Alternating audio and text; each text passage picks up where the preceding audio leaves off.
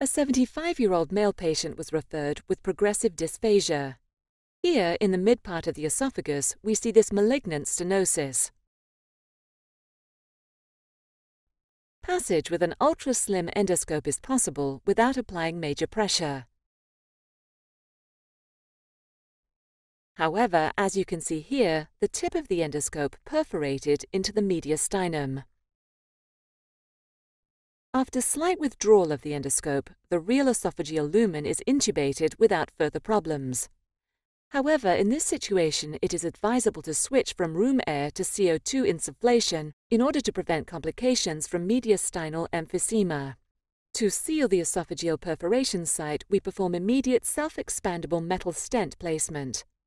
First, a stiff wire is advanced into the stomach. Then a partially covered metal stent is advanced over the wire. Direct visual control with an ultraslim endoscope, which is introduced simultaneously via the nasal route, allows easy stent deployment without any need for fluoroscopy. The yellow marking on the stent deployment system represents the proximal end of the stent. It is therefore crucial to keep this marking always at a minimum of 3 cm proximal to the upper end of the tumour during the deployment maneuver. Usually with an ultra-slim endoscope it is possible to pass through the just inserted stent without the danger of stent dislocation.